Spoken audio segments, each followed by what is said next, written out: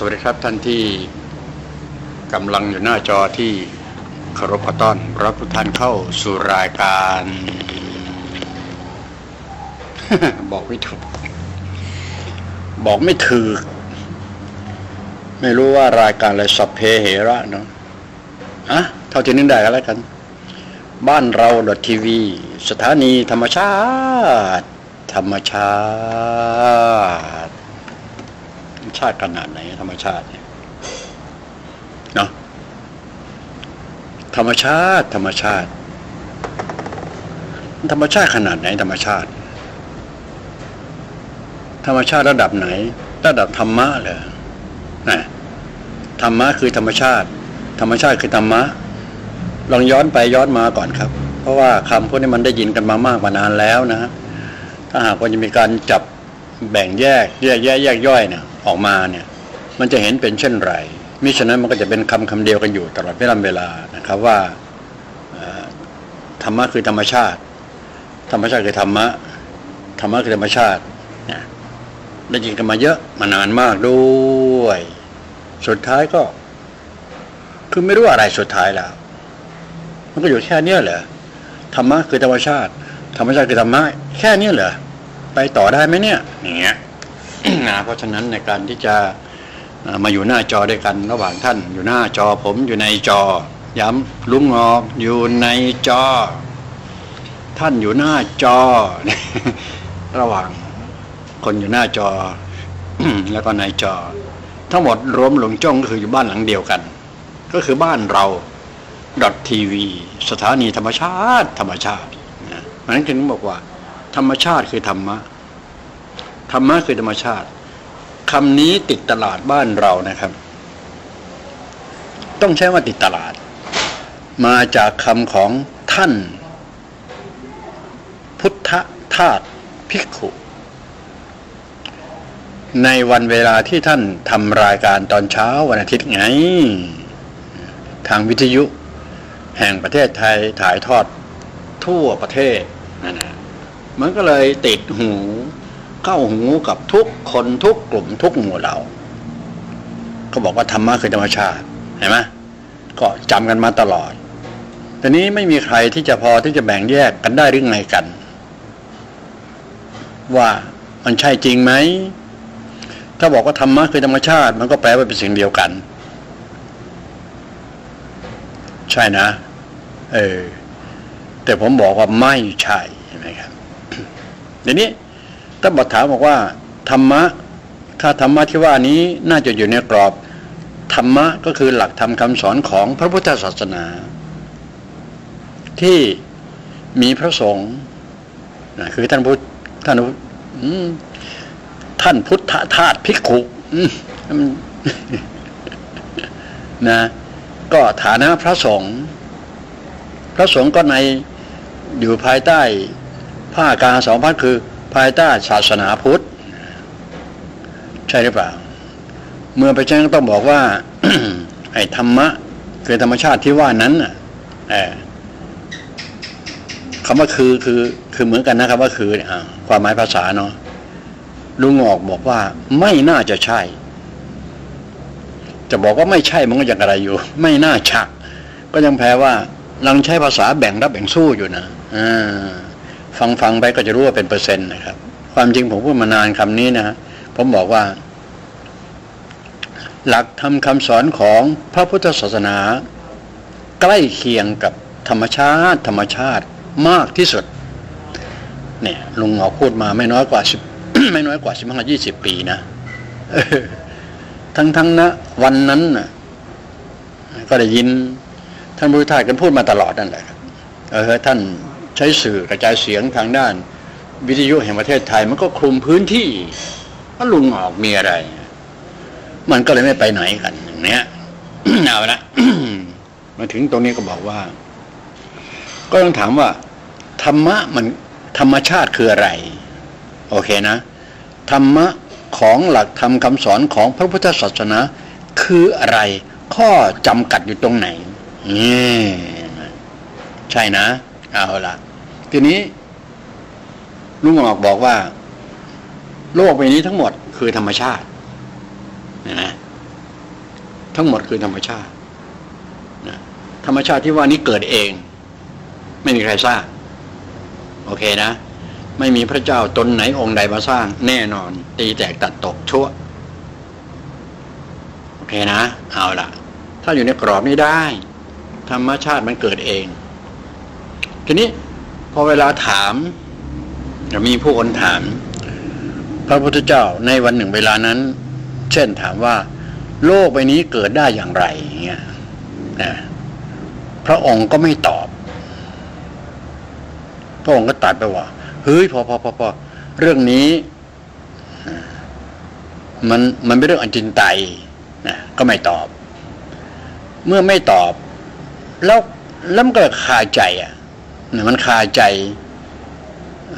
พุทธศาสนิกชนทั่วโลกเลยที่ว่าเนี่ย ไม่ใช่เพราะไม่ใช่เฉพาะคนในประเทศไทยนะมันคาใจอือาจินไตถามการเกิดโลก ก็ไม่ตอบ ไม่ตอบหรือว่าตอบไม่ได้ไม่รู้อะ แต่ผมว่าพระองค์ตอบได้นะ เออ เออ เออ เออ ไม่มีอะไรที่พระพุทธเจ้าไม่รู้แล้วตอบไม่ได้หรือบอกไม่ได้ โอเคไหมข้อเนี้ยเอาเอากักไว้หน่อย กักเอาไว้หน่อยกักไว้หน่อย ผมเชื่อว่าพระองค์ตอบได้นะ เออแต่ทำไมพระองค์จึงไม่ตอบ ก็แปลว่าขึ้นอยู่กับคนถาม อืมคนถามที่ถามว่า โลกก็ได้อย่างไร เออ ถ้าตอบแล้วนะคนถามจะเข้าใจไหมนี่เออ เออ เออ พระองค์ประมวลเรียบร้อยแล้วว่า ไม่มีทางเข้าใจ แม้จะถามมา ก็เป็นคำถามที่ดี เออ ก็อยากรู้เนาะแต่ตอบแล้ว ไม่เก็ตเพราะ ระพุทธเจ้าพระองค์เป็นคนที่รู้ความนึกความคิดของมนุษย์สัตว์และเทวดาโอเคไหมครับคิดอะไรอยู่ ถ้าตอบแล้วคิดต่อได้ไหมเนี่ยเงี้ยคิดต่อก็ไม่ได้ พอจบข่าวไปไม่รอด งั้นไม่ตอบเชื่อว่านะ ไม่ตอบไม่ไม่ตอบคำถามนั้นว่าโลกวันนี้เกิดได้อย่างไร ก็เพราะว่าคนถามไม่มีภูมิธรรมภูมิปัญญา ที่จะรับรู้หรือเข้าใจในคำตอบตรงนั้นพระองค์จึงตรัส เป็นเรื่องอาจินไตยจบข่าวมันก็ค้างกันมากี่ปีที่เนี่ยสองพันกว่าปีมาถึงวันนั้น แล้ววันนี้ลุงหงอกก็ขันอาสาอธิบายเรื่องนี้อะอืมเขาบอกว่า โลกนี้เกิดได้อย่างไร อะก็บอกว่าเกิดเองไงนะเห็นไหมครับ จบไหมเนี่ย ยังไม่จบยังไม่พอ ถ้าเฉพาะกรอบโลกพอแล้วก็จบ แต่มันต้องมีหลักคำสอนบอกอริยสัจอริยสัจสี่ความจริงสี่ประการที่เคยจดจำมันมา ลุงหงอกบอกว่า ใช้เพียงแค่อริยสัจสามก็อธิบายได้ ว่าธรรมชาติ ก็คือโลกใบนี้เกิดเอง โอเคไหมก็จะเป็นยากอะไรการเกิดเป็นทุกข์นั่นเอง ก็ใช้ตัวนี้เป็นคำเริ่มซะใด ๆที่เกิด ในโลกนี้ หรือในโลกีวิสัยแห่งนี้ ล้วนแต่เป็นทุกข์หมดนะก็แปลว่าสิ่งอยู่ในโลกนี้มันมันเกิดมานะมันทุกข์หมดนะเออเพราะทั้งโลกมันเกิดมาเองมันก็เป็นทุกข์ตามภาษาโลกเห็นไหมงั้นสิ่งอยู่ในโลกนี้ก็เป็นทุกข์หมดนั่นเอง มันจะไปยากอะไรก็ใช้หลักคิดวิชาคณิตศาสตร์ง่ายๆ เช่น a เท่ากับ b b เท่ากับ c เนี่ย c เพราะฉะนั้น a ต้องเท่ากับ c ก็จบข่าวแล้วเนี่ยนะใช่ไหมครับ ก็ใช้หลักคณิตศาสตร์ วิชาเรขาคณิตที่เรียนกันมาย่ำแย่ก็คือตรงนี้เอง ก็เท่ากันในเชิงเปรียบเทียบนะ มันก็ได้หมดนั่นแหละนะยิ่งทุกวันนี้ผมใช้คำว่าวิชาคณิตศาสตร์คือวิชาสีถนนชัยด้วยอ้าวไปกันใหญ่แล้วแล้วจะเรียนไปทำไมอะเออเดี๋ยวก็เก่งไปเถอะนะก็เก่งไปเถอะก็ไม่ว่าอะไรกัน เอานะอย่าลืมนะฮะโลกวันนี้คือธรรมชาติ ธรรมชาติเกิดเองนะครับ ถ้าถามว่าโลกวันนี้เกิดได้อย่างไรมันเกิดเอง ทีนี้กลับมาการเกิดเป็นทุกข์เนี่ยงั้นต้องมีสามุทัยต้องมีที่มานั้นเกิดจากไหนไหมครับ เห็นไหมก็ณวันนั้นพระพุทธองค์ไม่ตอบ ก็ไม่ต้องถามว่าเกิดจากไหนใช่ไหมล่ะเออณวันนี้มีคนมาเล่าให้ฟังนั่งลุงหงอกนั่งตรงนี้ ต้องถามว่าเกิดจากไหน เกิดเองเกิดจากไหนเพราะการเกิดเป็นทุกข์อะ แล้วสมุทัยไปไหนล่ะอ่านิโรธไปไหนล่ะ นี่เป็นต้นมันก็ไม่ครบกระบวนกระบวนการของการของหลักธรรมคาสอนของพระพุทธศาสนา งั้นลุงหงอกอธิบายว่า อืม ธรรมชาติกับธรรมะคือธรรมชาติ ธรรมชาติกับธรรมะธรรมะคือธรรมชาติเห็นไหมก็ไม่จบอีกแล้วแปลว่าณวันหนึ่งเวลานั้น ท่านพุทธทาสพิโขท่านก็ไม่จบอีกแหละ เพราะท่านบอกว่าธรรมะคือธรรมชาติเออธรรมชาติเกิดได้ยังไงทีเนี้ยเห็นไหมโลกวันนี้เกิดได้ยังไงคือธรรมชาติก็มีไหมครับ หลักคำสอนพุทธไอไอของท่านพุทธทาสมีไหมครับ ไม่มีหายตายก็ไม่เจอครับนี่ เพราะก็ตรัสไว้เป็นเรื่องจิตใจใครจะมาเล่าตรงนั้นใช่ไหมครับ แต่ลุงหอต่างหากจะต่อให้เดี๋ยวนี้นะฟังใหม่นะครับ โลกนี้เกิดได้อย่างไร เกิดเองหน้าวันหนึ่งเวลานั้น มีคนถามพระพุทธเจ้าพระองค์ไม่ตอบ ผมเชื่อว่า พระองค์ตอบได้แน่นอน แต่ตอบคนถามหน้าวันนั้น อธิบายไงก็ไม่เข้าใจ เหมือนกับสำนวนนะฮะรดน้ำ ใส่ต่อ เสียเวลา เห็นไหมครับ แปลว่าคนยุคนั้นน่ะ รับไม่ได้หรอก คนยุคนี้เขาพูดถึงจักรวาลเห็นไหมครับ ใช่นะ เออเขาพูดถึงกาแล็กซี่ เพราะฉะนั้นจึงเชื่อมโยงกับกลุ่มที่เคยฟังเคยอะไรต่างๆ เรื่องจักรวาลจักรวาลเรื่องของแกลเล็กซี่แกลเล็กซี่นั่นแหละครับ มันจะมาตรงนั้น เพราะนั้นลุงก็ถือโอกาสเชื่อมต่อตรงนี้ซะนะ โลกวันนี้เกิดเอง เกิดการเกิดเป็นทุกข์นั้นสมุทัยในรูปของโลกอยู่ตรงไหนผมก็บอกว่ามาจากดวงอาทิตย์ดวงอาทิตย์เป็นสมุทัยของโลกใบนี้ไหมครับนะเห็นไหมแล้วแล้วนี่รถไปไหนทีนี้ทีนี้ก็ไล่ตามนิโรธต่อนั้นถอยไปเรื่อยดวงอาทิตย์เกิดดวงอาทิตย์เป็นทุกข์ทีนี้เห็นไหมครับ สมุทัยอยู่ตรงไหนนู่นแหละกาแล็กซี่นู่นแหละ ห็นไหมมันจากทางช่างเบิกช่างแมวเนี่ยที่เขาว่าที่ว่าเนี่ย เห็นไหมกลุ่มดาวใดๆที่มันเกิดในกลุ่มของกาแล็กซี่เกิดเป็นทุกข์อีกอไปนู่นเนี่ยมาเออเออใช่ใช่เพื่อนผมบอกว่าใช่ใช่ใช่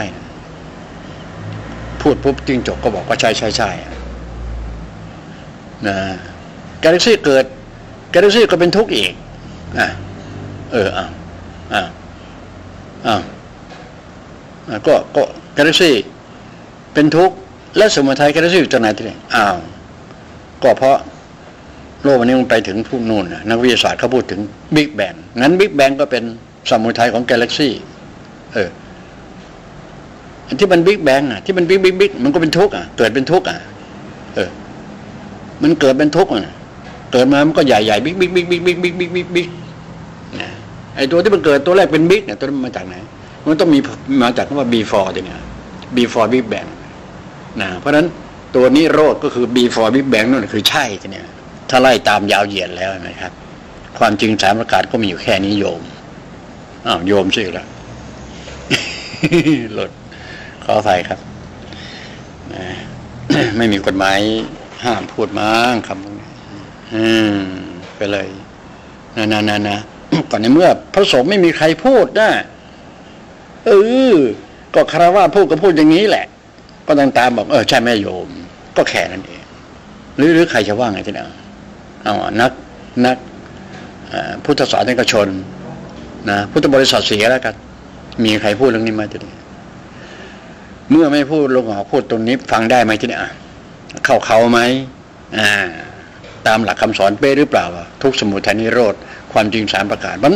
ข้อที่สี่ผมยังไม่ติดใจเลยทำไม เออ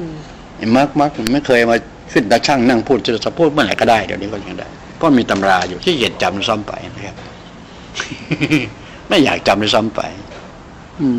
ผมถือเป็นเรื่องราวตลาดสดตลาดแห้งหมดนะครับ ความจริงข้อที่สี่ก็คือมาร์กนั่นจริง ๆ แล้วข้อนี้ขมวดเลยนะครับว่า มันเป็นคำพูดของถ้าแปลมาเรียบร้อยเป็นคำพูดของของอะไร ของพระอรหันต์เออนะมักมีแปดข้อเนี่ย มันเป็นผลของพระอรหันต์เขาพูดทิ้งเอาไว้เออมันไม่ใช่ใครไปรู้เข้าใจเรื่องมักมีแปดข้อจะบรรลุเป็นพระอรหันต์ไม่ใช่เลย ไม่มีทางเออเออไม่มีทางเด็ดขาด อะ ยอมอะเอาใครบอกว่าพัฒนาตัวเองเข้าไปมักมีแปดข้อ เริ่มต้นจากคำว่าสมาธิินั่นนะว่า บรรลุธรรมไม่มีทาง สรุปดีกว่า ถ้าใครก็ตามดำรง และดำเนินชีวิตภายใต้เงื่อนไขคำว่ามรรคมีแปดข้อนะที่เขาบอกว่าองค์แปดองค์แปดนั่นนะอริยมรรคอริยผลนั่นแหละ อืมมันแปลว่าอะไรไม่รู้อริยมรรคมันแปลว่าอะไรอริยผลแปลว่าอะไรก็ไม่รู้จำมาตลอด ผมก็เลยไม่ใส่ใจนะตีแตกตัดตกก็คือไม่ใส่ใจ เพราะ มันไม่เข้าแก๊ปกับลุงหงอโอเคไหมครับ คนไหนเข้าแก๊ปก็ใส่ไปเถอะไปไปไปไปตามว่าเขาก็เรื่องเขาไปละโอเคไหมมักมีแปดข้อสรุปใครก็ตามดำรงเนินชีวิตไปตามหลักเกณฑ์ของมรรคซึ่งมีแปดข้อนั้นจเจริญทุกท่านทุกคนจบตรงนั้นจะดีที่สุดอะก็ไปตีให้แตกให้มันตกซะตรงนั้นนะผมว่ามันจะดีกว่าศีลห้าศีลแปดได้ซ้ำไปจะว่าไปทำไมเมียอ่า จะดีกว่าศีลห้าศีลแปดได้ซ้ำไปที่ว่าเนี่ยอะเห็นไหมใช่ไหมครับ ตีให้แตกก็แล้วกัน ความหมายเป็นไงใช่ไหมครับ เพราะมันมีทั้งหมดอยู่ตรงนั้นนะใช่ไหมครับ มีการประกอบสมาชีพชอบด้วยอะเห็นไหมครับ นั่นคือการใช้ดำรงดำเนินชีวิต ในภายใต้เงื่อนไขมักมีแปดข้อ เจริญทุกคนทุกท่านพยาคาจบนะ อยหลังมาหาธรรมะคือธรรมชาติต่อนะฮะไม่ไปต่อแล้วนะธรรมะคือธรรมชาติ อย่างนี้ท่านพุทธทาสพูดเอาไว้นะครับ ผมมีคนที่พูดว่า ธรรมะ ผมใช้คำว่าหลักธรรมคาสอนของพระพุทธศาสนา รวมความแล้วก็น่าจะเป็นธรรมะของพระพุทธศาสนา ซึ่งพระพุทธเจ้าให้ไว้กับชาวโลก รวมความแล้วน่าจะอยู่ในกรอบนี้ โอเคไหมครับ อืมอย่าไปไกลไปก่อนนะมันจะ มันจะเป๋มันแยกไม่ออก มันบอกไม่ถูก ก็จำมั่วกันมาไม่รู้กี่รุ่นคนตัวกี่รุ่นคนแล้วนะเอาเป็นว่าหลักธรรมคาสอนของพระพุทธศาสนา ผมเป็นคนพูดเองนะ เป็นหลักธรรมคำสอนที่ใกล้เคียงกับธรรมชาติ ธรรมชาติและธรรมชาติ ธรรมชาติมากที่สุด แต่ธรรมะของศาสนาไม่ใช่ธรรมชาติแน่นอนอคือไม่เหมือนกับธรรมธรรมชาติแน่นอนเอามาใกล้เคียงกันแล้วกัน รับได้ไหมครับคำว่าใกล้เคียง ถ้าแล้วมันก็ไปมันก็ไปต่อด้วยกันได้นะถ้าย้อนแย้งผมมันก็ไปต่อไม่ได้ แต่จะย้อนแย้งกันถ้ากันย้อนแย้งมาฮะว่ามันจะย้อนแย้งแม่เราก็ว่ากันมา เอามาแชร์กัน ก็ข้อมูลท่านข้อมูลผมใช่ไหมข้อมูลท่านก็จดจำมา ข้อมูลผม ผมไม่ได้จดจำอ้างถึงเฉยอ้างถึงกันนิดหน่อยพอให้มันต่อเนื่องกันไปได้ มันไปได้กันได้ก็แค่นี้ไม่ใช่มาไม่ใช่มาเตะตัดขาใครที่ว่าเนี่ยนะทำไมถึงบอกว่า ธรรมะ ในคำสอนของพระธรรมะคือธรรมชาติตามท่านพุทธทาสพูดถึงมันมันไม่ใช่ตรงไหน อย่างเมื่อกี้ก็ยกตัวอย่างแล้วใช่ไหมครับธรรมชาติมันเกิดเอง โอเค เพราะนั้นธรรมะธรรมะ หลักทำคำสอน มันไม่ได้เกิดเอง มนุษย์ทำขึ้นมา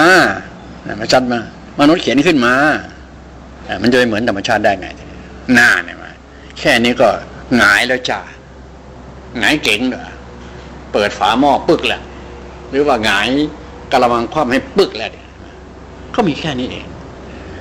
สั้น ๆ นี่นะครับ สรุปได้ก็แล้วกันนะผมสรุปท่านนะหลายครั้งนะหลักทำคำสอนของศาสนาถามว่า ท่านสอนอะไรไหมครับนี่ดีกว่า สอนเรื่องอะไร สอนเรื่องธรรมชาติใช่ไหมผมตอบว่าไม่ใช่นะเห็นไหมเห็นไหมเห็นไหม แปลว่าคนที่บอกว่าธรรมะคือธรรมชาติโมเมแล้วเนี่ยผมบอกว่าไม่ใช่เห็นไหมพุทธศาสนาสอนเรื่องอะไร ผมตอบเลย สอนเรื่องราวมนุษย์ อืมมนุษย์ มนุษย์มีอะไร การเกิดเป็นทุกข์มีทุกข์อ่าอ่าเถียงไหมที่นี่เอาเรื่องทุกข์และเรื่องสุข นี่เป็นหลักเลย อะไรคือทุกข์ กินมากเป็นทุกข์ไหมเออ นอนมากเป็นทุกข์ไหมใครบอกว่าสุขก็เชิญสิครับจะไม่รู้การเกิดมาเป็นทุกข์ทันที เกิดขนาดเล็ก แมวเกิดแมวก็เกิดมาเป็นทุกข์ช้างเกิดมาช้างก็เป็นทุกข์มนุษย์เกิดมนุษย์ก็เป็นทุกข์เชื้อโรคเชื้อราเกิดเชื้อโรคเชื้อราก็เป็นทุกข์สรุปเข้าโลกทั้งใบเกิดมาทั้งสิ่งที่มีชีวิต และไม่มีชีวิตต่างมีทุกข์ทั้งสิ้น จบข่าวไหมพี่ จบมา หรือจะหรือจะต้องเถียงอีก คนในบ้านเดียวเขาไม่เถียงกันหรอกคนในบ้านอะไรกันก็จะแชร์กันเล่าสู่กันฟัง รับได้ รับไม่ได้ ก็คือปฏิบัญญาไปด้วยกัน คนบ้านเดียวกัน ก็คือบ้านดาวดทีวีเนี่ยโอเคไหมครับสองหมื่นกว่าชีวิตเวลานี้ หรือหรือ หรือจะมีอื่นอีกไหมครับ เอาละมาถึงตัวย่อย แยกย่อย ทุกสุขมนุษย์เกิดเห็นไหม การเกิดเป็นทุกข์ทีนี้ไอการเกิดเนี่ยมันก็เป็นเรื่องราวธรรมชาติ เออ ธรรมชาติก็เป็นวิวัฒนาการมาทีเนี้ยเออ เพราะฉะนั้น หลักพุทธศาสนามีไหมครับ สอนเรื่องการเกิด เออ สอนเรื่องการทำให้เกิด มีแต่บอกว่า เกิดมาแล้วจะดำรงดำเนินชีวิตอย่างไร จึงจะมีสันติสุขซะมากกว่า เออพุทธศาสนาคงไม่ได้สอนวิธีทำให้เกิดได้นะมีแต่บอกว่า ยิ่งมีทำให้เกิด ก็ยิ่งมีกิเลสตัณหาราคะต่อ อะ เออ ถามว่าเข้าถึง ถ้าเข้าถึงจะผลิตมาทำไมมากมายมนุษย์อะถึงขนาดเนี้ยพุทธศาสนิกชนเนี่ยไหมครับมันก็ไม่ใช่การการสอนวิธีพุทธศาสนาไม่ได้สอนวิธีทำให้เกิด โอเคไหมเพราะ ไอการทำให้เกิดไม่ต้องไปสอนมันเป็นธรรมชาติ โอเคไหมเออเออการทำให้เกิดย้ำนะฮะไม่ต้องสอน เพราะเป็นธรรมชาติ เออ ทีนี้เมื่อเกิดมาแล้ว เออ เนี่ย มาสอนกัน อยู่ยังไงจะมีความสุขเนี่ยคิดยังไงทำอะไรจะมีความสุข หรือ หรือหรือทีพอเวลามาถึงความคิด คิดยังไงจะมีความสุข ผมก็บอกว่า ลุงก็บอกว่า ความคิดก่อให้เกิดทุกข์อ้าวซวยเลย ความคิดแทนจะเป็นความสุขก่อให้เกิดทุกข์สักนี่โอ้ย ไปไงทีนี้ลุงหงอไปไหวไหมนี่มั่วป่ะเนี่ยมั่วนิ่มป่ะเนี่ยเออนิ่มไม่นิ่มก็ฟังไปเรื่อยความคิดก่อให้เกิดทุกข์ความทุกข์ก็ก่อให้เกิดคิดอีกอ่าอ่าอ่าความคิดก่อให้เกิดทุกข์ ความทุกข์ก่อให้เกิดคิด แล้วทำไงจะไม่ทุกข์ทีเนี่ยก็ต้องหยุดคิดอ่าอ่าหยุดคิดมันหยุดยังไงวะเนี่ย หยุดคิดมันหยุดยังไงวะวะนี่ใช่ไหมมันล็อกนะเนี่ยเออ หยุดคิดมันล็อกนะให้รู้ไว้ไปต่อไม่ได้นะ บอกให้กันได้นะเมื่อคืนที่ผ่านมา บอกว่า ปรัชญาคิดเอาไม่ได้ หยุดคิดจึงจะได้ เอาละสิจ้ะหยุดยังไงหยุดคิด ตรงนี้แหละครับ ก็ก่อนตัวท่านก็คิดอยู่ไม่ใช่หรือทุกวันเนี่ย ใช่ไหมอีกอย่างหนึ่งลุงงอบอกว่า ไม่คิดเหมือนชีวิตยืนตายกลางทุ่งเอา้า ก็ต้องคิดจนได้สินะถ้ามนุษย์ไม่คิดไม่คิดนะไม่ต่างจากต้นไม้ยืนตายกลางทุ่ง เออ ใช่เปล่ามนุษย์ไม่คิดเหมือนชีวิตยืนตายกลางทุ่ง น่าเอามาเป็นคำ คำคำประจำใจแต่ละวันไหมครับ เออ ถ้ามันคิด ถ้ามันพอสรุปได้ จดเอาไว้ ไปบอกลูกหลาน ลูกเอ้ยหลานเอ้ยมนุษย์ไม่คิดเนี่ยเหมือนต้นไม้ตายนะใช่ไหมเป็นขี้ให้นกบินมาเกาะแล้วขี้ใส่นะพูดอย่างนั้นแหละครับพูดกับลูกหลานใช่ไหมครับงั้นก็ต้องคิดในลูกนะเนี่ย คิดเรื่องอะไร เรียนคณิตศาสตร์ก็ต้องคิดเรื่องคณิตศาสตร์ใช่ไหมฮะคิดการประกอบอาชีพก็ต้องคิดทำประกอบอาชีพก็ต้องคิดเห็นไหมครับเห็นไหมเออนี่เอาความคิดกับไปใช้คิดจะทำอะไรเออเออเออคิดจะพูดอะไร พูดไม่ต้องคิดได้ไหมเนี่ย ส่วนหนึ่งนะมากเลยนะพูดไปแล้วไม่ได้คิดเลย ปลาหมอตายเพราะปากเลยเห็นไหมครับ นักการเมืองก็บอกว่า ปัญหาใด ๆ ถ้าไม่พูด เราเป็นนายมัน ปัญหาใดๆด้วยว่า จะทำอะไรก็ตามที ถ้าเราไม่พูด เราเป็นนายมัน ถ้าพูดว่าพูดปุ๊บมันเป็นนายเราทันทีนะมันอดีตอดีตนายกรัฐมนตรีคนหนึ่งพูดเอาไว้ ในบ้านเมือง ชื่ออะไรชาติชายชนวันก็เลยเออใช่เห็นไหมถ้าพูดแล้วมันเป็นนายเราทันที ก็ปลาหมอตายเพราะปากเนี่ยสำนวนเนาะเอาเป็นว่า คิดแล้วไม่พูด ได้ไหมครับทีนี้ท่านทำได้ไหมครับ ไม่ทำก็ต้องฝึกทำนะให้รู้ไว้เออ คิดแล้วไม่พูดต้องฝึกทำนะพี่เอ๋ยก็บอกว่าวันหนึ่งไม่ต้องพูดสัก ใครสักคนได้ไหมครับ ไม่ได้กับวันละชั่วโมงอะนะเพิ่มมาวันละสองชั่วโมงอะนะเนี่ยเพิ่มวันละสี่ชั่วโมงห้าชั่วโมงเอานะที่สุดแล้วนะฮะไม่ต้องพูดทั้งวันเลยทำได้ไหมครับ ลองทำนะฮะผมเชื่อว่าไม่ตายแล้วครับ แต่อย่าหยุดหายใจนะดีนะซ้ำไป เห็นไหมครับ ทีนี้ชีวิตจริงได้ไหมทีเนี้ยต้องประกอบอาชีพ ต้องทำนู่นนี่นั่น ต้องมีปฏิสัมพันธ์กับผู้คนเห็นไหมครับ อย่างผมผมได้สิครับ ตื่นมาผมก็นอนได้สบายใช่ไหมผมเนี่ยผมทำได้แน่นอน มันต้องพูดแล้วใครก็ได้วันหนึ่งเนี่ย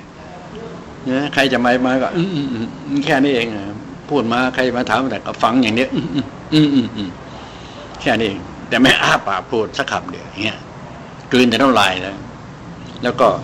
เติมเชื้อเพลิงไปดูเชื้อเพลิงไปไหนละเดี๋ยวดูเชื้อเพลิงก่อนอ๋ออยู่อยู่อยู่อยู่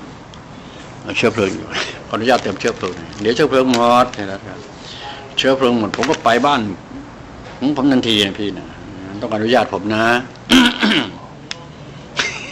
เติมเชื้อเพลิงไม่เหมือนชาวโลกนะพี่นะพูดไปกับควักบุหรี่มาสูบซะนี่เป็นตัวอย่างที่ไม่ดีของเด็กๆเฮ้ยผมมาสู่รีวิสอนคนเยอะแยะไป สอนมามากเลยด้วย ใช่ไหมครับ อืมอย่าสอนให้เกลียดให้กลัวสิครับ ถ้ารู้ว่าไม่ดีก็อย่าไปสู่มันก็จบแล้ว เออใครก็ได้ในโลกเนี่ยใช่ไหมครับ ถ้ารู้ว่ามันไม่ดีก็อย่าไปสูบมัน รู้ว่าเปลืองก็อย่าไปสูบมันเนี่ยผมไม่เคยซื้อบุหรี่สูบนะหลายปีมาแล้วประมาณสิบกว่าปีมาเนี่ยมีทุกคนมาให้ยังกองเต็มเลยสลองศรัทธาเนี่ยไปโน่นเนี่ยมาเข้าตัวเองสิแล้วนะ ฉลองศรัทธานะลุงหงอก็ต้องรู้ตัวเองนะครับลุงหงอต้องรู้ต้องทำงานอีกเป็นร้อยปี อันนี้เพิ่งเจ็ดสิบสี่ไปแล้ว อยู่ร้อยปีสบายนะนี่อย่างนี้ทุกวันนะนี่ปล่อยแล้วตอนนี้ ไม่หยุดแล้วไม่อยากคิดเลิกคิดเลิกมันตั้งหลายครั้ง ไม่เคยเอา ไม่เคยสำเร็จสักทีนึงมันอยู่กับเรามันเป็นหนึ่งเดียวกับลุงหงอกมันจะว่าไงล่ะครับ สูบตั้งแต่อายุสามสี่ขวบไม่รู้คุณเล่นนะเนี่ย ไม่เห็นมันตายไม่เห็นจะเป็นมะเร็ง ผิวพรรณก็ยังใช่ไหมครับ พอแล้วละอืมไอ้ถูกชวนเชื่อถูกสร้างความกลัวให้กับจะได้ขายของขายของอย่างเดียวพอแล้วนะครับ วิธีนั้นอย่าไม่ใช่กับลุงหอกไม่มีทางได้ก็แล้วกันทำเคมีขึ้นมาเพื่อที่จะขายอย่างเดียวนี่ใช้กับลูกหองไม่ได้ใช่คนอื่นก็แล้วกัน คนอื่นฉลาดน้อยฉลาดมากก็ทำเอาเองก็แล้วกันประมาณนั้น โอเคนะ เอาหลักกลับมาถึงตรงเนี้ยธรรมชาตินะ มนุษย์เกิดมาในกรอบธรรมชาติครับเห็นไหมมาในบทธรรมชาติ ไม่ได้มาแบบธรรมะนะนี่จะเถียงทีเนี้ยเออเถียงแล้วเสียเสียดายท่านพุทธทาสไปก่อนถ้ายังอยู่นะไม่รู้นะ ถ้ายังอยู่นะ ผมขออนุญาต ถามตอบถามตอบคำต่อคำนี่แหละครับ มันจะได้รู้ไม่ใช่แล้วครับ มันจะรู้ว่าไผเป็นไผกันแน่ ประมาณนั้นเออนะนะนะนะนี่มันถึงยุคถึงเวลากัน จริง ๆ นะ ไม่ได้พูดเล่นนะ ผมติดใจท่านพุทธทาสอยู่สองประโยคนะครับหนึ่ง ฟังให้ดีนะครับหนึ่งพระพุทธรูปบางนาม เออใช่ พระพุทธรูปบางนามโอ้โทษทีพระพุทธรูปบางพระธรรม โอเคครับอ่าผ้าเหลืองบางพระสงฆ์นี่นะ ผมจิตใจมากเลย เยี่ยม พระพุทธรูปบางพระธรรม เยี่ยมมาก ฟังผมจะอธิบายตรงนี้ให้ฟังนะครับ ผ้าเหลืองบางพระสงฆ์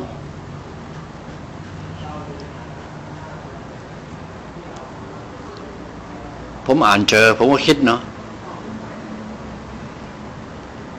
เอ๊ะมันลงตัวคนพูดหรือเปล่าวะเนี่ยคนพูด บนหลายขึ้นฟ้าหรือเปล่าวะเนี่ยเนี่ยผมคิด ผมคิดแทนท่านด้วยนะหน้าวันนั้น เอ๊ะท่านบนลายขึ้นฟ้าหรือเปล่าผ้าเหลืองบางพระสงฆ์อ่าสวยเลยพระสงฆ์ทั้งทั้งที่ตัวเองเป็นพระทั้งทั้งที่ตัวเองเป็นพระสงฆ์นี่นะเห็นไหมครับ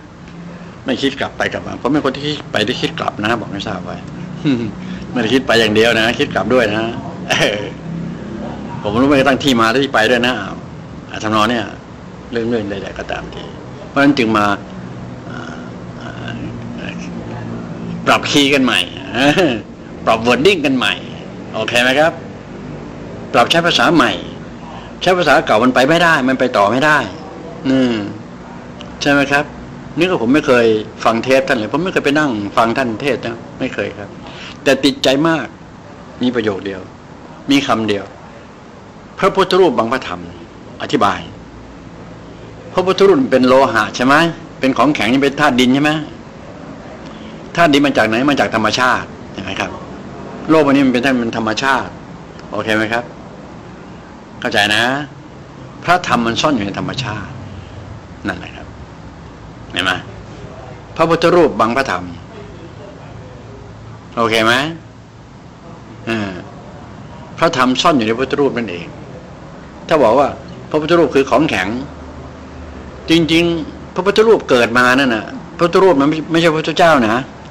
พระพุทธรูปเกิดมา ก็ทุกตามรูปแบบของพระพุทธรูป เพราะมันเป็นของแข็งสิ่งไม่มีชีวิต เกิดมาทั้งหมดมันก็เป็นทุกข์หมดใช่ไหมจากคำพูดที่ผมพูดตั้งแต่ตอนต้นนะพอแยกไหมครับ แยกได้นะแยกไม่ได้ได้ยุ่งนะแยกแยกแยกย่อยไปแล้วเล่นอย่าไปจริงจังอะไรก็นักกันนะแต่ผมผมสบายสบายอยู่แล้วแหละ โอเคนะอีกใหม่นะพระพุทธรูปบางพระธรรมโอ้โห ผมบอกว่าเยี่ยมมาก เป็นคำเด็ด มันตัดขั้วผมทันทีเลย ตัดขั้วเลย เยี่ยมมาก แต่คำว่าพระ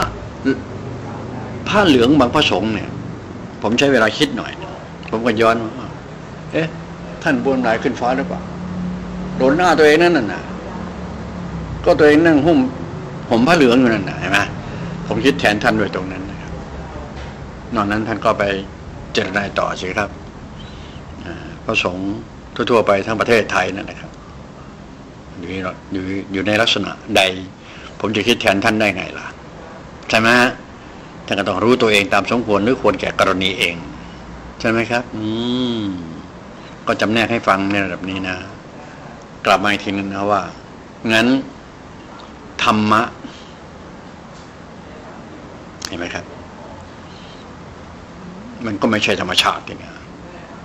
หรือว่า เพราะธรรมะมันไม่ใช่ธรรมชาติ ถ้าธรรมชาติต้องเกิดพร้อมกันใช่ไหมพร้อมกับโลก ใช่ไหมอ้าวอ้าวเอาว่าใกล้เคียงกันแล้วกันโอเคนะสรุปกันแล้วกันว่า เดี๋ยวมันจะสรุปไม่ได้ สรุปไม่ลงแล้วก็มันก็ค้างอะเนาะ รู้จักไหมคำว่าสรุปมันมันค้างนะมันไม่ถึงที่สุดนั่งไม่สุดขั้วหรือไม่ไม่ถึงที่สุดมันก็ค้างนะเวลาโยนก้อนหินหรือว่าโยนไม้ไปยอดไม้นู่นย้อนไปแล้วไม่กลับอะ มันค้างนั่นน่ะ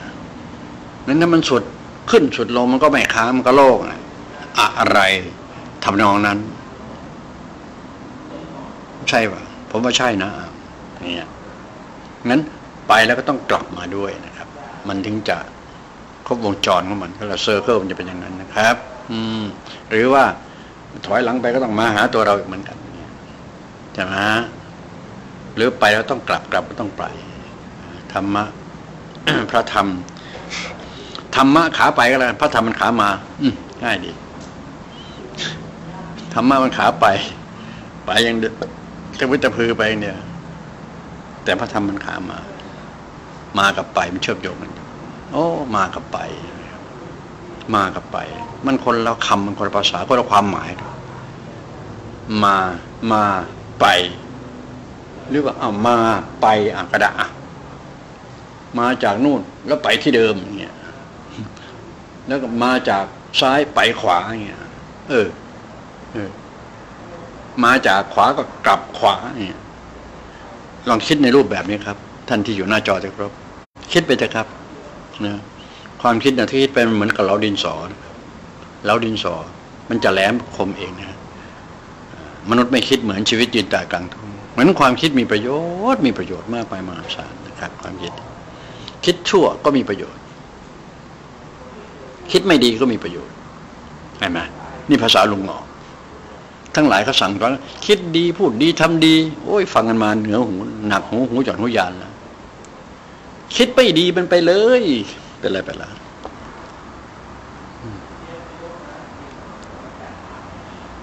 ใช่ไหมครับ เพราะความคิดมันอยู่กับตัวเรา มันไม่ไปไหนไม่ไม่ไม่ทำไม่ไม่ทำให้ใครเดือดร้อน ใช่ไหมเอาลองเสียคิดไม่ดีกับใครก็ได้คนข้างบ้าน หรือข้างตัวลองเสียหรือแม้แต่คิดไม่ดีกับลุงหอกเดี๋ยวนี้ลุงหงอไม่เดือดร้อนเลยเลย ไม่ได้เดือดร้อนเลยเลยถ้าพูดไม่ดีสิเนี่ย ลุงงอก็ไม่เดือดร้อนด้วย คนที่พูดน่ะเดือดร้อนไหมเออเอาคนที่พูดน่ะเดือดร้อนที่ว่านั่นนะเอาจริง ใช่ไหมครับเอาเอาลองใกล้คนเสีย เห็นไหมตีให้แตกให้ได้ครับเนี่ยคิดไม่ดีกับลุงงอกลุงงอกไม่เดือดร้อน พูดไม่ดีกับลุงหอกลุงหอกก็ยิ่งไม่เดือดร้อน เออเอออ่าพูดไม่ดีกับลุงหอกเนี่ยสบายเลย ไม่เดือดร้อน ไม่สะทกสะท้านด้วยแต่ถ้าหากว่าพูดไม่ดีเรื่องของลุงหอกสวยเองนะให้รู้ไว้สวยเองนะโยม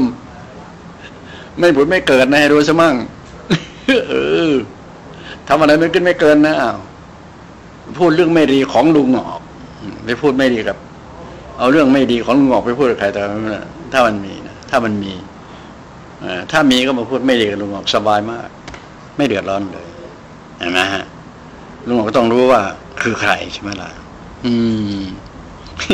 ไม่เดือดร้อน พูดไม่ดีอไม่ไม่อะไร ไม่จับผิดด้วยอไม่กล่าวโทษด้วย อ่า พูดไม่ดีกับลุงออก วันใบวันโอ้สบายมาก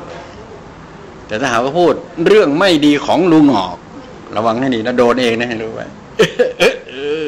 ให้โทษแก่เขาทนถึงเรานะโย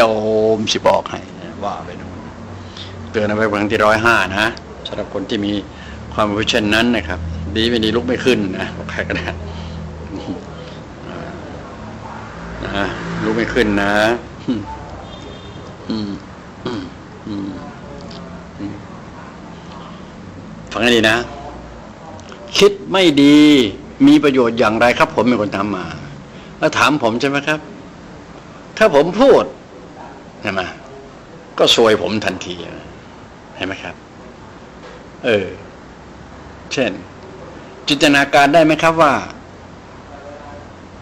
ผมคือคือประเภทสัตว์ตัวผู้เนาะเออ ผมคิดไม่ดี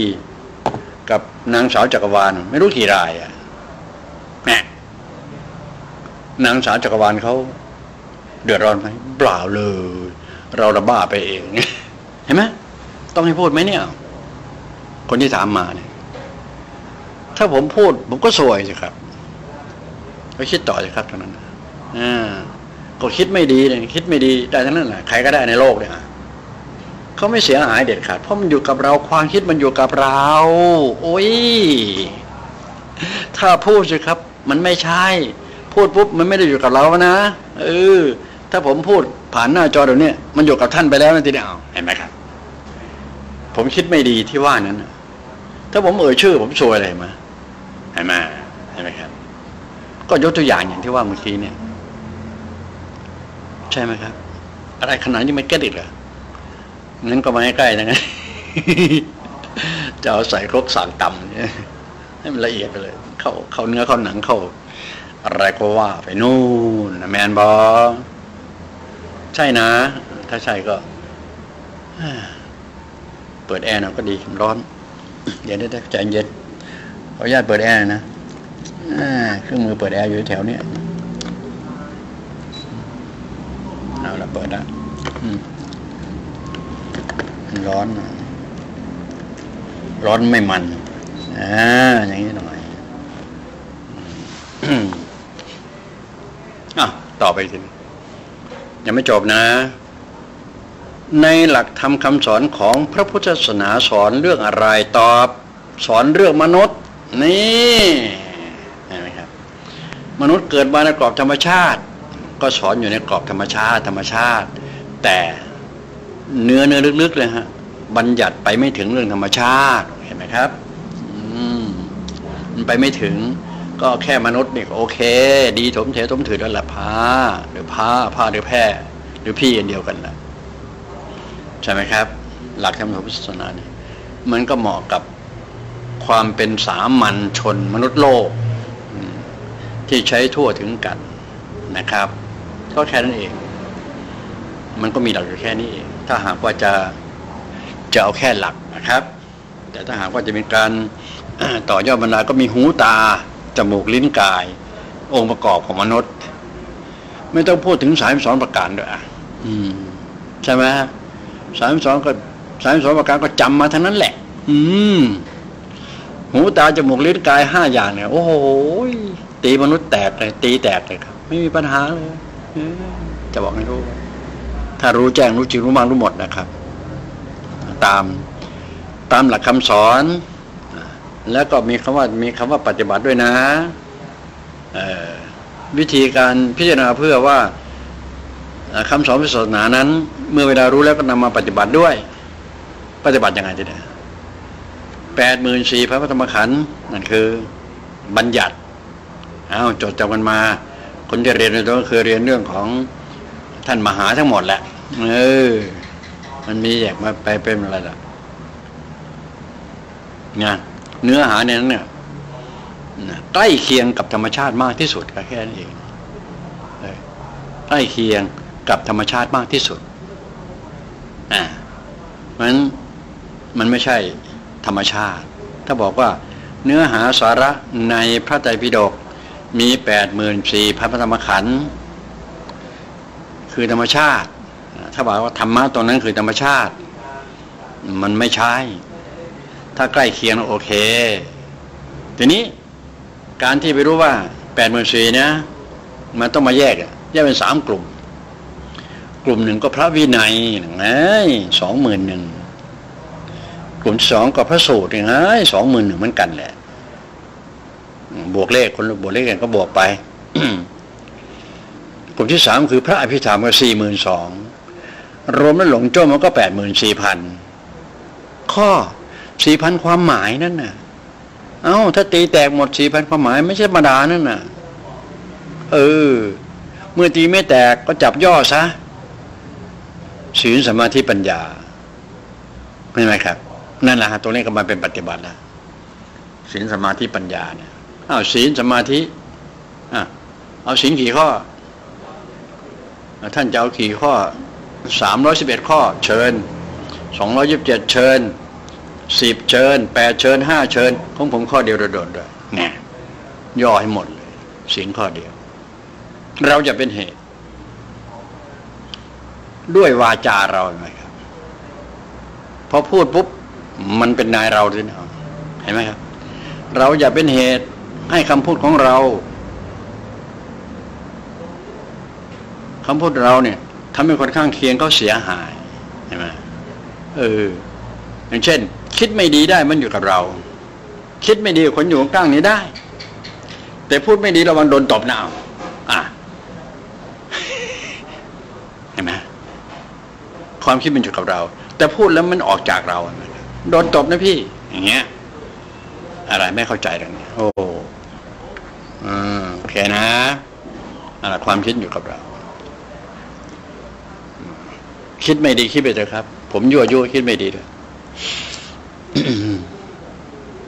แต่อย่าพูดตามสิ่งที่ตัวเองคิดสกัดได้ไหมครับ ร้อยทั้งร้อย ร้อยนี่มีแค่เศษ ปลายเส้นผม ปลาย พูดเท่านั้นแหละคิดไม่ดีพูดบทของผมคิดไม่ดีร้อย คิดไม่ดีร้อยนะฮะถ้าพูดก็แค่ เอาหนึ่งนั่นเองอะ ไม่ถึงไม่ถึงครึ่งเปอร์เซ็นต์อะถ้าพูดนะ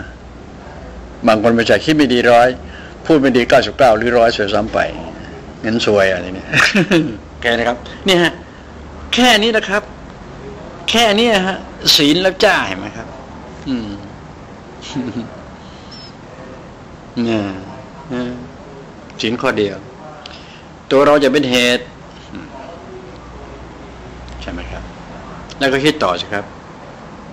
อันนั่งพิจารณาไม่รู้โดยรอบ เราจะเป็นเหตุให้หมูหมากาไก่ช้างมะวัวควายสิ่งแวดล้อมเดือดร้อนเพราะตัวเรา เช่น เช่นอย่าเป็นเหตุให้สิ่งแวดล้อมมันเดือดร้อน ข้างหน้าเป็นสนามหญ้าใช่ไหมเนี่ย ไปถึงก็โทษทีขออนุญาตสุภาพเลยนะเยี่ยวใส่เลย เหม็นไหมทีเนี้ยใช่เป็นเป็นเป็นปุ๋ยกับหญ้าด้วย แต่เหม็นไหมล่ะเพราะมันเป็นที่อยู่อาศัยอะเห็นไหมครับจบไหมเนี่ยถ้าทำได้ไหมเป็นเหตุให้เกิดกลิ่นไม่ดีแล้วกับข้างบ้านท่านประข้างบ้านผมเราอย่าอย่าเป็นเหตุแบบนั้นเถอะครับ เห็นไหมอะไรคิดไม่ได้ ของแค่นี้ใหญ่ยังต้องใหญ่มากกว่านี้ก็คิดได้นะเล็กๆเนี่ยมันส่วนมันจะมองข้ามกันนะครับ โอ้ไม่พี่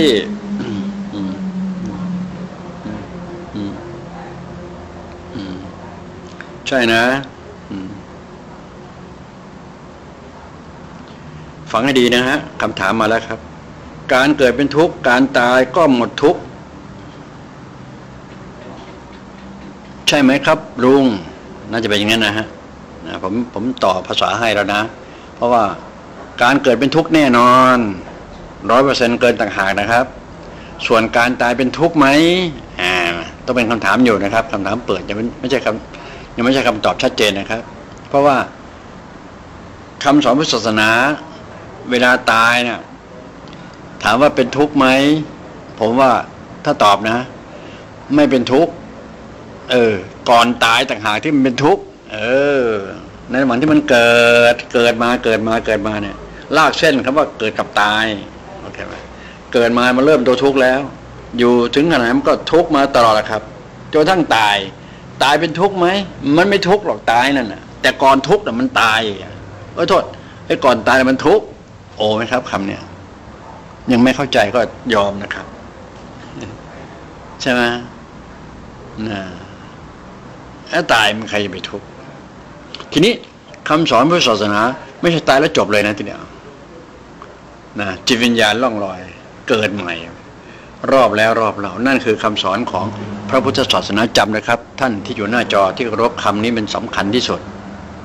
ของการตายหลังตายนะครับ ยังไม่ต้องพูดกับศาสนาอื่นนะครับอย่าไปเทียบเรื่องอื่นอย่างในเรื่องของเขาเรื่องของเราประมาณนั้นนะครับ หรือถ้าจะเทียงหน่อยก็ได้นะพอเป็นน้ำเป็นน้ำเป็นน้ำหอมหน่อยแล้วกัน เขาว่าศาสนาอื่นศาสนาอะไรไม่รู้ศาสนาจักรวาลไหนจะไปสนใจเขาบอกว่าตายแล้ว เข้าอะไรล่ะ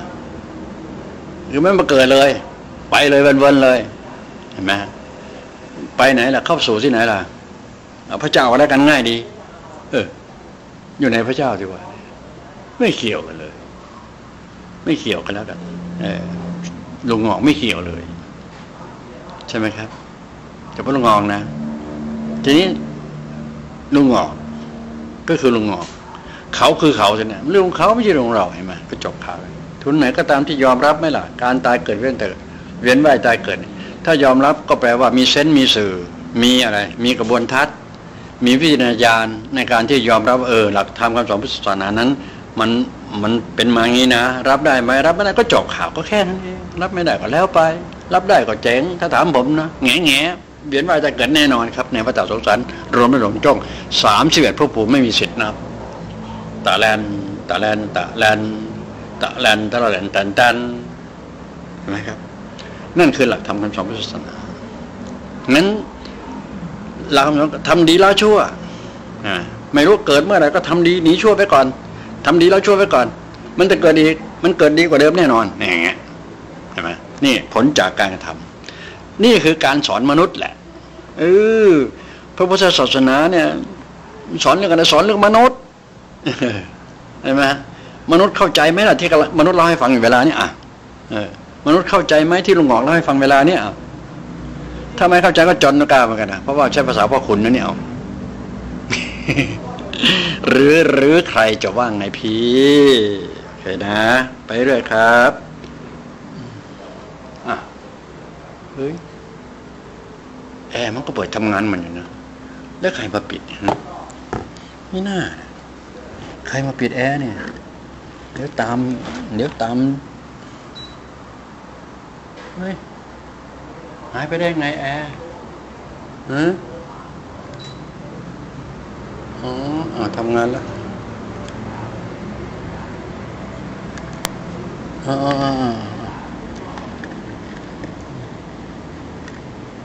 อืมทำงานแล้วโอเคครับ ต่อต่อต่อกำลังมันพะยะค่ะ นี่สามทุ่มเสร็จแล้วนี่เมื่อกี้ผมเข้ามารายการก็สามทุ่มประมาณสิบห้าสิบหกนาทีนะครับ การเกิดเป็นทุกข์การตายก็หมดทุกข์ใช่ไหมครับ หมดทุกข์ในชาตินี้แน่ๆโอเคไหมครับเออแต่เกิดอีกนะ ไปทุกข์อีกนะ เพราะฉะนั้นชาตินี้จึงภาวนาทราบว่า ขอเป็นชาติสุดท้ายอย่าเกิดอีกนั่นเองเห็นไหมใช่นะ ขอเป็นชาติสุดท้าย ไม่ต้องทำอะไรมาก ขอชาติขอเป็นชาติสุดท้าย ในระหว่างที่เกิดมาจนกระทั่งถึงวันตายที่ภาวนาว่าจะเป็นชาติสุดท้ายนี่สิตรงนี้ต่างหากเป็นคำถามที่ใหญ่หลวง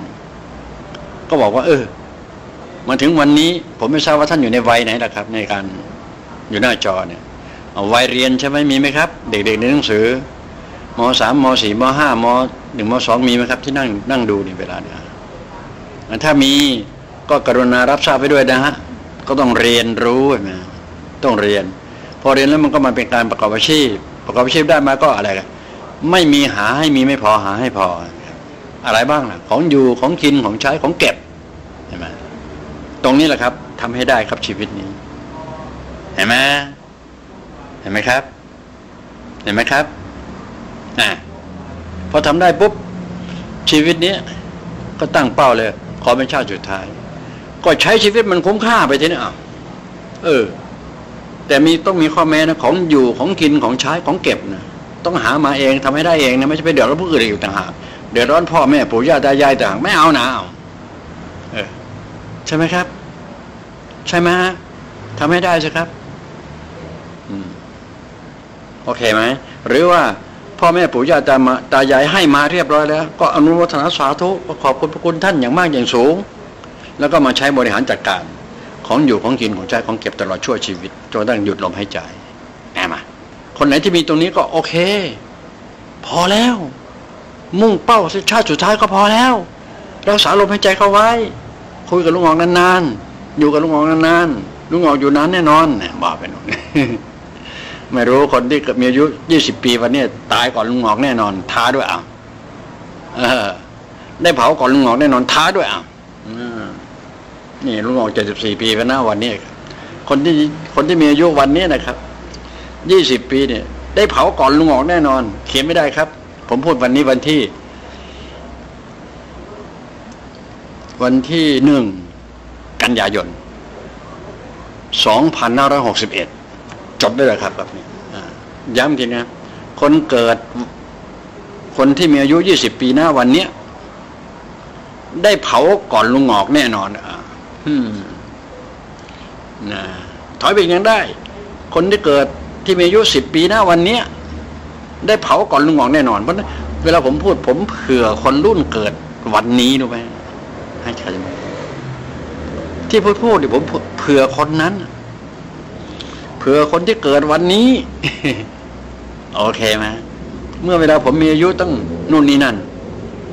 ไม่รู้ ผมยังไม่ตายกันแล้วกันอะเออ จะได้คุยกับคนที่เกิดวันนี้รู้เรื่องกันต่อไป ผมต้องอยู่นานนะเพราะฉะนั้นจึงจะต้องรักษาคำพูดตรงนี้เอาไว้ ให้มันชัดเจน ให้มันนะเพราะรุ่นนี้เขาต้องเป็นอย่างนั้นนะรุ่นเกิดมาวันเนี้ยเขาไปไม่นั่งจำเหมือนคนรุ่นก่อนหรอก อืมอะไรมันจะเร็วทันใจหมดนะครับ เพราะนั้นเข้าใจปุ๊บปั๊บจบข่าวเลย เออดีว่ะ อย่างเงี้ย ก็นึกมาถึงที่กำลังพูดถึง ของอยู่ของกินของใช้ของเก็บจำไม่ต้องมีลาบเสื่อมลาบ มียศเสื่อมยศ มีอะไรเสื่อมเสียพอแล้วโลก มันไม่เสื่อมได้แต่พูดมันไม่ใช่ นั่นจะมีมาทำไมยศอะ เออ เออ แล้ว แล้วแล้วเวลานั่งนั่งนั่งทับยศอยู่ละ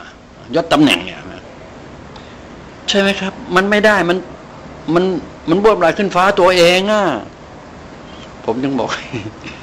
พระเหลืองบางพระสงฆ์นี่เอ๊ะท่านบ้วนน้ำลายขึ้นฟ้าตัวเองหรือเปล่าวันนี้เนี่ยเวลาผมคิดนะพระพุทธรูปบางพระธรรมนี่แน่มาก ก็คือรูปบางนามนั่นเองครับ เมื่อกี้ยังไม่จบ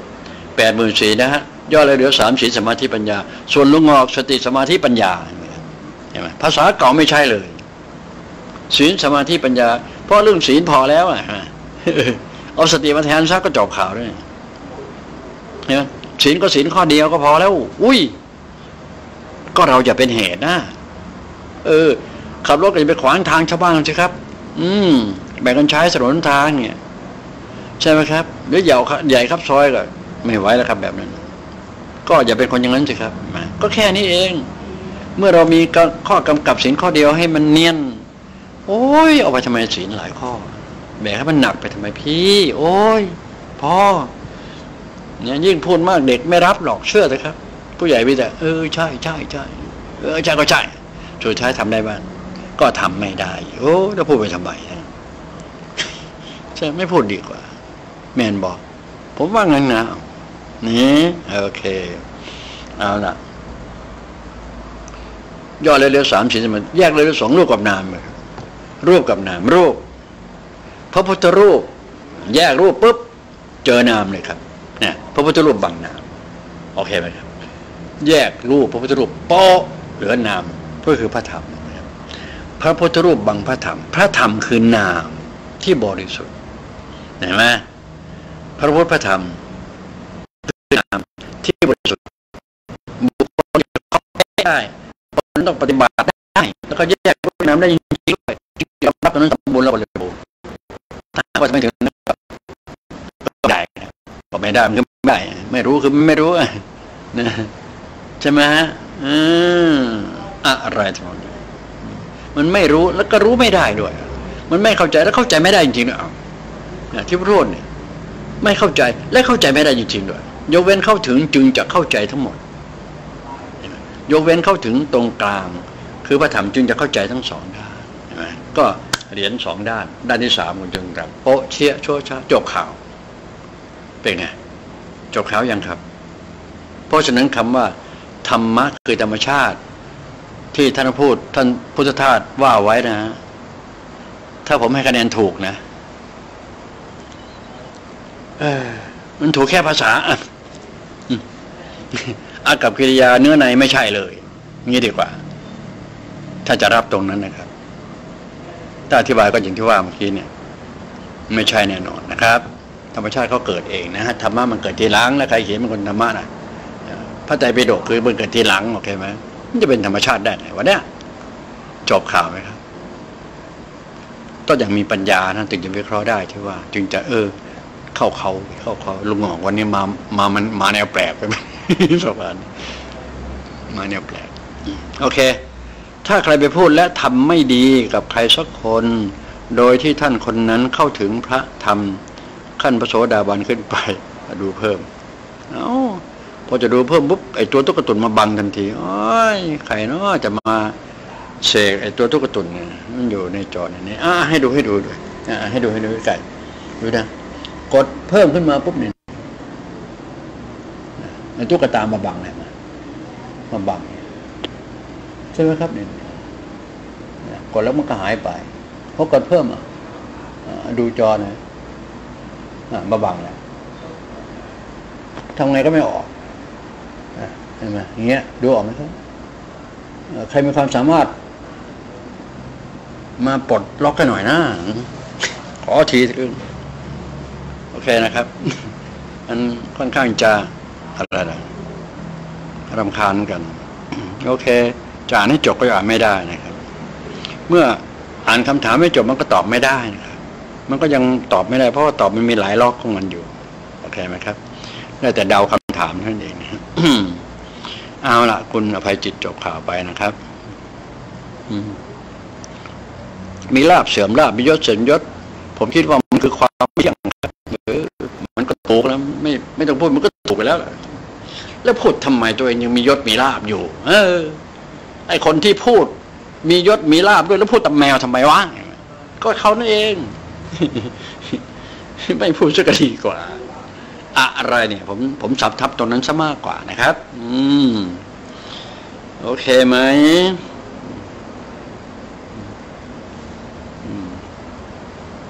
มีอะไรอีก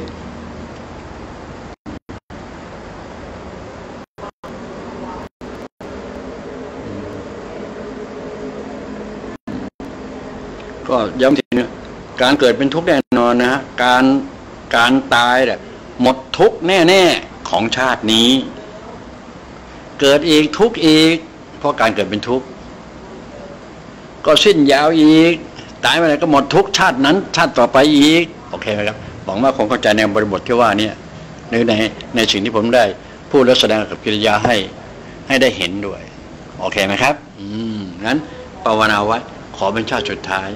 ชาตินี้ไม่มีหาให้มีไม่พอหาให้พอ สิ่งนั้นคือของอยู่ของกินของใช้ แล้วก็ของเก็บจบข่าวไหมครับใครมีแล้วนั่นแหละครับ สบายเลย โอเคนะ คนมีแล้วก็อนุโมทนาสาธุด้วย ท่านจะมีมาด้วยวิธีไหนก็โอเคนะเชิญครับ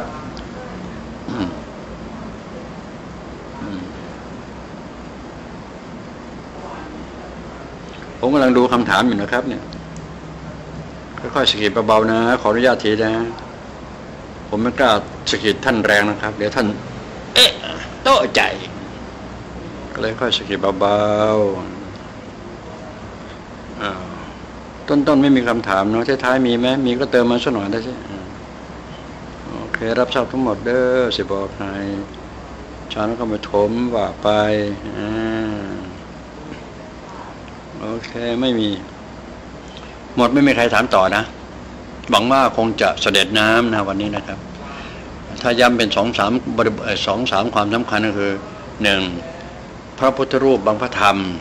มันก็ขยายความเรียบร้อยแล้ว ก็เชื่อว่าใช่